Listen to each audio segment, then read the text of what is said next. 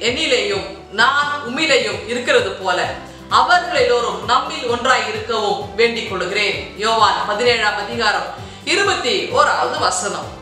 இன்றைக்கு தென்னிந்திய திருச்சபை உருவாக்கப்பட்ட நாளுங்க.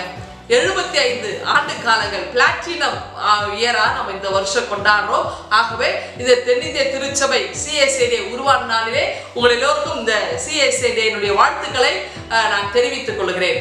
இங்கே பார்த்தோம் சொன்னாக்கா இது ஏன் இந்த சிஐசி டே உருவாச்சு? அதுவும் இது வந்து ரொம்ப சிறப்பான ஒரு வருஷம். ஏன்னா பிளாட்டினம் இயர் இல்லையா?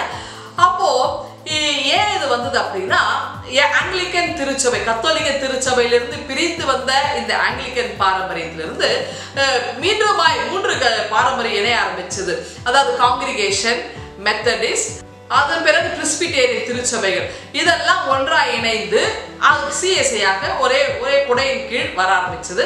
அதாவது இங்கிலாந்து தேசத்தில் ஸ்காட்லாந்து போன்ற பணி இடங்களிலிருந்துலாம் மிஷினரிகள் வந்து இந்த பகுதிகளிலே ஊழியம் செய்ய ஆரம்பித்தாங்க இந்தியா போன்ற பகுதிகளெல்லாம் சபைகளை உருவாக்கினாங்க. இன்றைக்கு பார்த்தீங்கன்னா இதனுடைய தலைமை திருச்சபை எங்கே இருக்கு தலைமையகம் எங்கே இருக்கு அப்படின்னாக்கா சென்னையில் சென்னையில தான் இருக்குதுங்க. சினாட் அப்படின்னு நம்ம சொல்லுவோம் இந்த சினாட் இது ராயப்பேட்டால் இருக்குது. இது கீழே பார்த்தீங்கன்னா இருபத்தி நான்கு பேராயங்களாக இன்றைக்கு உருவெடுத்திருக்கு.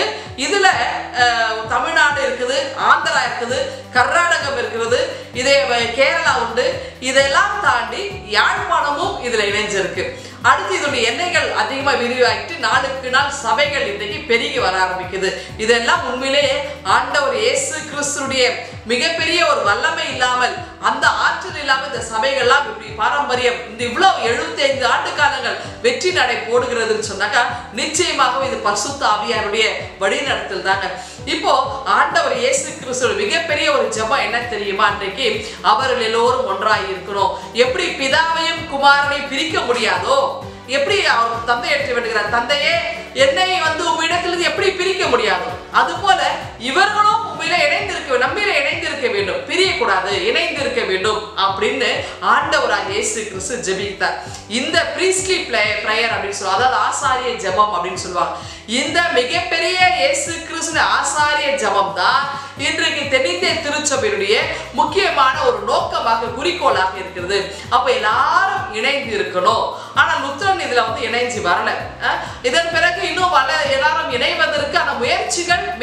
வருகிறாங்க. அந்த கவுன்சில் இதுக்கான இந்த கவுன்சில் ஃபார் சர்ச்சஸ் எல்லாம் இணைஞ்சு வர்றதுக்கான பேச்சுவார்த்தைகள் நடைபெற்று கொண்டிருக்கின்றன.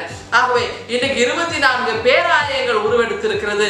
ஆகவே இதெல்லாம் ஆண்டவருடைய அது மிகப்பெரிய ஒரு வல்லமையா நிகழ்கிறது. ஆகவே இயேசு கிறிஸ்து எப்படி ஜெபித்தாரோ எல்லோரும் ஒன்றாயிருக்க வேண்டும் என்று சொன்னாரோ ஆகவே நாமும் இயேசு கிறிஸ்துக்குள்ளாக நாம் ஒன்றாய் இருந்து இணைந்து வாழ்ந்து கடவுளை துதிக்க இந்த நாள் நமக்கு துணையா இருந்து காத்தரட்டும். இந்த சிந்தனையோடு இந்த நாளை நீங்கள் துவங்குகள் ஆண்டவர்களை ஆசீர்வதிப்பாராக.